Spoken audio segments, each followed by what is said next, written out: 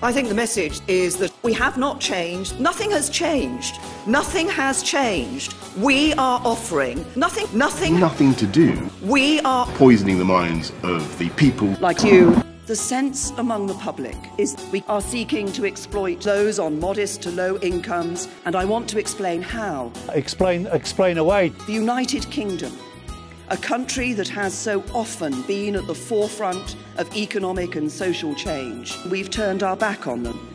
And why, whether we're talking about India, Pakistan, Bangladesh, America, Australia, Canada, New Zealand, countries in Africa, Asia, or those that are closer to home in Europe. At the heart of the plan, embrace the politics of division and despair. I know you're working around the clock.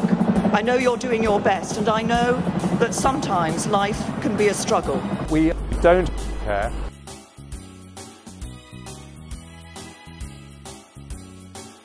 It means accepting that the road ahead will be ferocious, I'm afraid there is no money. I don't want to sound like Craig Revel Horwood, but our policies would push the economy into recession. I'm afraid there is no money. No ifs, no buts. I'm afraid there is no money. The Conservative Party. is a disgrace.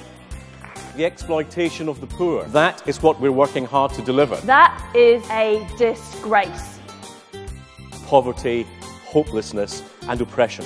Plenty of snow, nuclear missiles, balalaikas.